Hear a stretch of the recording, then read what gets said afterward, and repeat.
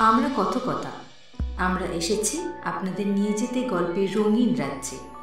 আজকে শোনাব লীলা মজুমদারের লেখা মেজ মশাই অতি বড় কর্তব্য কর্তব্যপরায়ণ হলে যে কি দারুণ সর্বনাশ হয়, যেই আমার মেজ পিসেমশায়ের জীবন কাহিনী ঘেটে দেখবে, তার আর বুঝতে বাকি থাকবে না। আমার মেজ পিসেমশাই আধা বয়সী মোটা সোটা হাসি খুশি মানুষটি। মাথায় অল্প অল্প টাক পড়েছে। গায়ের রংটা শ্যামলাই বলতে হবে। স্বাস্থ্যটি ভালোই। সাংসারিক অবস্থাও মন্দ নয়। মোট কথা, সুখী হতে হলে যা যা দরকার, তার কোনোটারই বিশেষ অভাব নেই। ছেলেমেয়েরা বেশ লেখাপড়া করছে। বড় মেয়ের ভালো বিয়ে হয়েছে। আমার মেজ পিসিমাটিও মাটির মানুষ। তবে ওই অতিরিক্ত কর্তব্যপ্রিয়তার ফলে মেজ পিসেমশায়ের জীবনের সঙ্গে একটা বিষের ভারের একেবারে কোনো প্রভেদ নেই। কথাটা কোথায় একটু খুলে বলা উচিত। আমাদের আর পাঁচজনের মতো মেজ পিসেমশায়ও ছোটবেলা থেকে কর্তব্য পালন করা সম্বন্ধে নানান পরামর্শ পেয়ে এসেছেন, বরং একটু বেশিই পেয়েছেন। কারণ নিন্দুকরা বলে যে তার বাবা নাকি আপিসে মাইনে পেতেন সাড়ে তিনশো টাকা, অথচ খরচ খরচা বাদ দিয়ে ব্যাংকে জমাতেন সাড়ে চারশো টাকা। যাই হোক, ছোটবেলা থেকেই মেজ পিসে মশাইয়ের কোনো সন্দেহ ছিল না যে যা কিছু ভালো লাগে সে সমস্তই অকর্তব্য, আর যা কিছু খারাপ লাগে সে সবই কর্তব্যের খাতিরে করতে হয়। ছোটবেলা থেকেই তাই তিনি বিনা বাক্য ব্যয়ে চিরতা খেয়ে নামতা মুখস্থ করে বড়দের কথা শুনে বায়োস্কোপ থিয়েটার না দেখে বিড়ি না খেয়ে বেশ বিয়ের বয়সে পৌঁছে গেলেন। বাপের একমাত্র ছেলে। মেয়ে দেখে বাপ মা তো দেশ উজাড় করে ফেললেন। বয়স কম, কলেজে টলেজে পড়েছেন। মেজ মশাই নিশ্চয়, মনে মনে একজন আয়তলোচনা শীত পদ্ম বর্ণা পিকোকণ্ঠী ষোড়শীর বিষয় নানান জল্পনা কল্পনা করতেন। কিন্তু তার বাবা যখন এসে একদিন বললেন, শম্ভু, আমার বন্ধু গোড়ার মেয়ে পুঁটির সঙ্গে তোমার বিবাহ স্থির করেছি। কথা পাকাপাকি হয়ে গেছে। কিন্তু আশীর্বাদের আগে তুমি আর তোমার পিসিমার ছেলে বটকেষ্ট গিয়ে মেয়ে দেখে আসবে। বড় হয়েছ, ওরকম না দেখে বিয়ে করাটা উচিত হবে না। সেকালের কর্তব্যপরায়ণ ছেলে যথা সময়ে বটকেষ্টর সঙ্গে মেয়ে দেখতে গেলেন। সে এক ব্যাপার, এক ঘর লাল, নীল, বেগুনি শাড়ি পরা মেয়ে বসেছিল। মেজ পিসে মশাই চিরকাল জানেন যে ভালো ছেলেরা মেয়েদের দিকে হাঁ করে তাকিয়ে থাকে না। আর চোখে একটু দেখে টেকে নিলেন তবে সত্যি কথা বলতে কি, কোন মেয়েটি যে পাত্রী, সেটা ঠিক ঠাউর করতে পারলেন। বাকি সময়টা মাথা নিচু করে জল খাবার খেয়ে টেয়ে তো বাড়ি চলে এলেন। বটকেষ্টটা কোনোদিনই বিশেষ সুবিধার ছেলে ছিল না। সে আবার ঘর থেকে বেরিয়েই বলে কি না চ কি যে রূপ এক একটির। খবরদার বলছি শম্ভু, মত দিবি না। কলকাতা শহরে সুন্দরী মেয়ে গড়াগড়ি খাচ্ছে। আর মামাও বেশ লোক বলতে হবে। কোথা থেকে খুঁজে পেতে যে এতগুলো কালো পেঁচা বের করেছেন? খবরদার বলছি, তুই ওদের বিয়ে করতে পারবি না। তার চেয়ে চল, একটা ভালো বায়োস্কোপ দেখা যাক। বিয়ের জন্য অত তারা কিসের? বলে বটকেষ্ট একটা কাঁচি সিগারেট ধরালো। আমার পিসিদের আমি খুব ভালোবাসি। আর আমার বাপের বাড়ির লোকেদের সকলকেই ভারী শ্রদ্ধা করি। কিন্তু সত্যি কথা বলতে কি, তাদের সব চেহারা দেখলে ভগবানের হাতের কাজ সম্বন্ধে একটু সন্দেহ হওয়াটা কিছু অস্বাভাবিক নয়। কাজেই গভীর একটা দীর্ঘ নিঃশ্বাস ফেলে মেজ মশাই মাথা নাড়লেন। আর কর্তব্য, জ্ঞান, শূন্য, বটকেষ্টটা চার পয়সার ছাঁচি পান কিনে পকেটে পুড়ে হাসতে হাসতে সিনেমায় চলে গেল। খানিকটা গিয়ে আবার ফিরেও এলো। দেখ শম্ভু, তোর বাবাটা একটা ইয়ে। ওর প্রতি তোর কোনো কর্তব্য নেই, আমি তোকে বলছি। আমার নিজের মামা, আমি ওকে চিনি না। তুই বরং আজ আমার বন্ধু পানুর বাড়ি গিয়ে লুকিয়ে থাক। কাল আমি তোর জন্য চমৎকার পাত্রী খুঁজে দেবো। তার হাঁটু পর্যন্ত কালো কোকড়া চুল হ্যাঁ চীনে করমচার মতো গোলাপি সাদা গায়ের রং। কান পর্যন্ত পদ্ম পলাশ লোচন রে তার দেখলে তোর মুন্ডু ঘুরে যাবে। আমার কথা শোন, পানুর বাড়ি যা, আমি সিনেমাটা দেখেই আসছি। মেজপিসে মশাই, শিউরে উঠে কানে হাত দিয়ে আর কাল বিলম্ব না করে সেখান থেকে পিটটান দিলেন। কর্তব্যের পথ যে কত কঠিন, মনে মনে বেশ বুঝলেন। অবশেষে একটা ভালো দিন দেখে আমার মেজপিসির সঙ্গে তো মেজপিসে মশাইয়ের বিয়ে হয়ে গেল।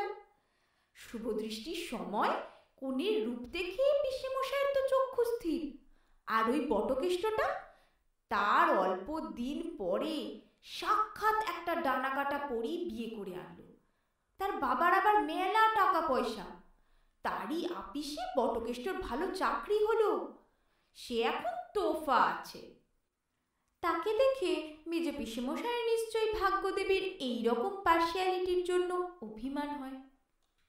আমার নিজের ছোটবেলায় মনে পড়ে মেজ পিসিমারা এলে বাড়ি ময় একটা শোরগোল পড়ে যেত। কারণ অতিশয় কর্তব্যপরায়ণ লোকেরা নিজের তো জ্ঞাতসারে কোনো অন্যায় করেই না, আবার অন্য লোকেদেরও কোনো অন্যায় করতে দেয় না। যে কটা দিন ওরা থাকতেন আমাদের তো অবস্থা কাহিল। বলতেন যে দেশের এমন দুরবস্থা সে দেশের ছেলে মেয়েদের কর্তব্য সব রকম আমোদ, প্রমোদ, বিলাসিতা পরিহার করা। আরও বলতেন যে, ছেলেপিলেদের সর্বদা বিনা বাক্য ব্যয়ে বড়দের আজ্ঞা পালন করা কর্তব্য। তার কথায় মনে হতো, যারা কর্তব্যপরায়ণ হয়, তারা কোনো ভালো জিনিস খায় না, পড়ে না, সিনেমা, থিয়েটার দেখে না, রসিকতা ঠাট্টা করে না, সুন্দর দেখতে কাউকে বিয়ে করে না, এমন তারা কত কি? আমাদের মধ্যে গুপির সাহস ছিল সবচেয়ে বেশি। সে জিজ্ঞাসা করে বসল কেন? কর্তব্য পালন করে কি লাভ হয়? বরং যারা কর্তব্য পালন করে না তারা ঢের বেশি সুখে থাকে খায় দায় ঘুরে বেড়ায় যখন যা ইচ্ছে করে। কারোর জন্য তোয়াক্কা রাখে না কারও ভাবনা ভাবে না। কর্তব্য টর্তব্য কোনো কাজের কথা নয়। রাগ করা কর্তব্য নয় বলে পিসেমশাই রাগ করেননি। অনেকক্ষণ ধরে ইহলোকের ভোগবিলাসের অসারতা সম্বন্ধে বোঝালেন। দুঃখের বিষয় গুপি তক্ষুনি সরে পড়ল। তার আর কিছু শোনা হলো না।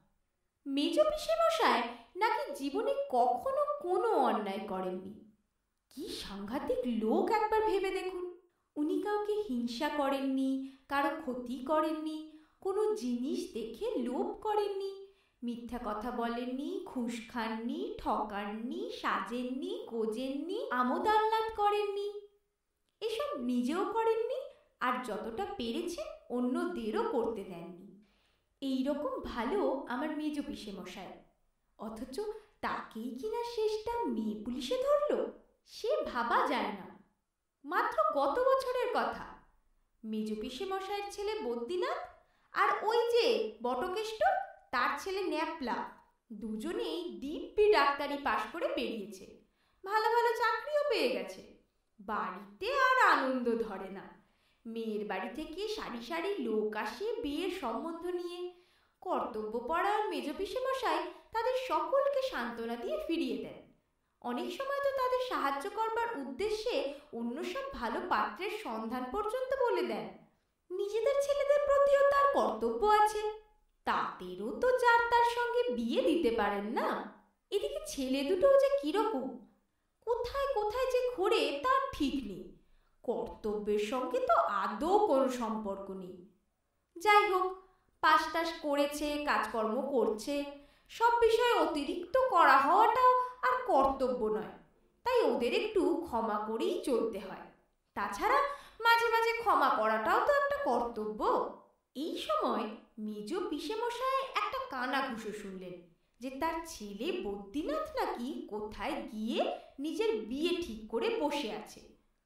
মেজ পিসেমশায়ের তো চক্ষু স্থির, কারণ তার কর্তব্যের পথ স্থির হয়েই আছে।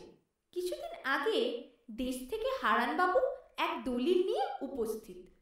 মেজ পিসে মশাইয়ের বাবা নাকি হারানবাবুর কাছ থেকে পাঁচ হাজার টাকা ধার করে শোধবোধ না করেই দিব্যি ড্যাং ড্যাং করে স্বর্গে চলে গেছেন।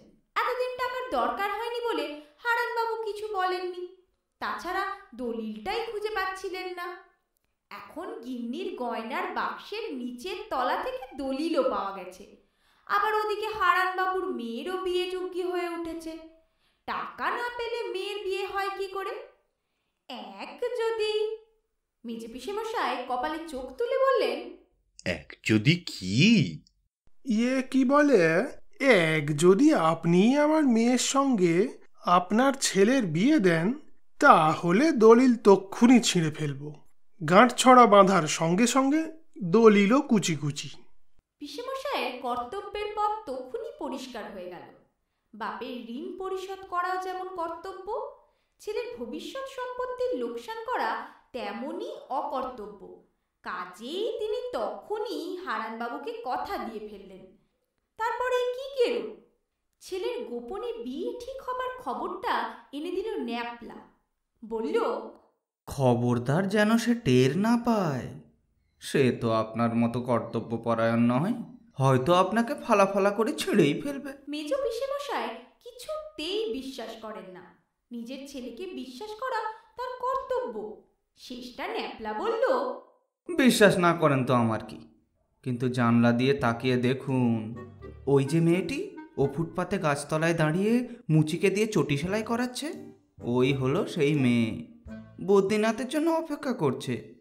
কে জানে, হয়তো আজই রেজিস্টারি করে বিয়ে টিয়ে সারা হয়ে যাবে। আজকালকার মেয়ে তো। পিসেমশাই, অবাক হয়ে তাকিয়ে দেখেন ও ফুটপাতে দাঁড়িয়ে একটি অপসরীর মতো সুন্দরী মেয়ে চটি সেলাই করাচ্ছে। নিশ্চয় যাতে তাড়াতাড়ি পালিয়ে যেতে পারে, তাই চটিটা মেরামত করিয়ে উম, কি সাংঘাতিক মেয়ে। ওর সঙ্গে কচি ছেলে বদ্রীনাথের বিয়ে। পিসেমশাইয়ের গা দিয়ে ঘাম বেরোতে লাগল। তখনই তিনি চটি পায়ে দিয়ে চাদর গায়ে দিয়ে পথে গিয়ে দাঁড়ালেন। মেয়েটির ততক্ষণে চটি সেলাই হয়ে গেছে। মুচিকে পয়সা দিয়ে একবার এদিক ওদিক তাকালো। তাকিয়ে বোধ হয় পিসে মশাইকে দেখেই হবে সে রওনা দিল। কি ভীষণ মেয়ে! বদ্রীনাথের বাবাকে শুদ্ধ চিনে রেখেছে। পিসে মশাই ছেড়ে দেবার পাত্র নন, ছেলেকে উদ্ধার করা তার কর্তব্য। তাই তিনিও তৎক্ষণাৎ তার পিছু নিলেন। তারপর সেই মেয়েটি তাকে এক ঘণ্টা ধরে কি নাস্তা নাবদি যে করল এ গলির এ দিয়ে ঢুকে মুখ দিয়ে বেরোয়। আবার তক্ষুনি পাশের গলির মুখ দিয়ে ঢুকে মুখ দিয়ে বেরোয়।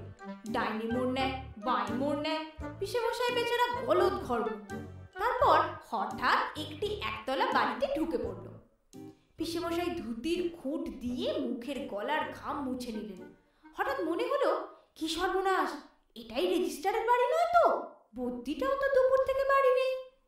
মেজ পিসেমশাই আস্তে আস্তে জানলার ধারে গিয়ে পায়ের বুড়ো আঙুলে ভর দিয়ে জানলার শিক ধরে ঝুলে ঘরের মধ্যে দেখতে চেষ্টা করছেন। এমন সময় মেয়ে পুলিশে তাকে ধরল। লজ্জা করে না মশাই? এদিকে তো ভদ্রলোকের মতো কাপড় চোপড় পরেছেন। তখন পিসেমশাই মহা বিপদে পড়লেন। ডাকাডাকি করলেও বাড়ি থেকে রেজিস্টারও বেরোন না বদ্যিনাথও না। বেরোলো সেই সুন্দরী মেয়েটি।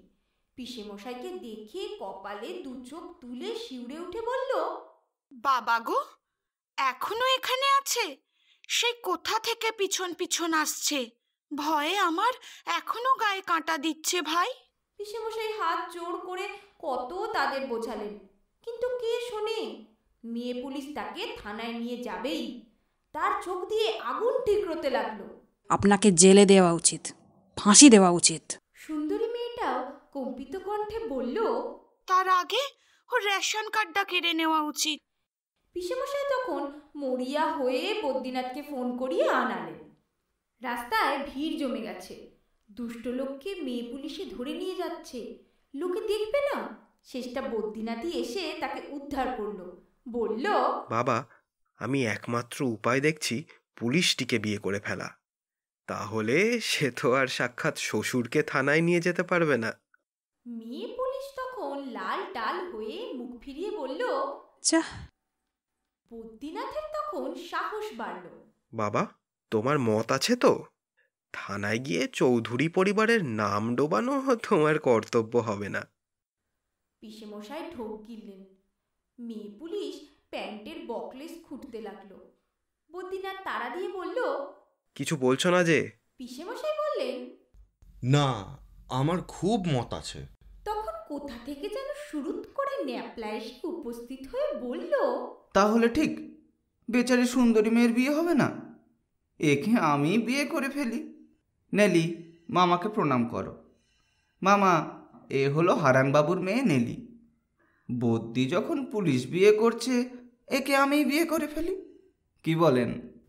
পিসেমশাইয়ের কর্তব্যবোধ বলল ভবিতব্যের সঙ্গে বৃথা যুদ্ধ করে লাভ নেই। তিনি তখন হাসি মুখে মদ দিয়ে ফেললেন।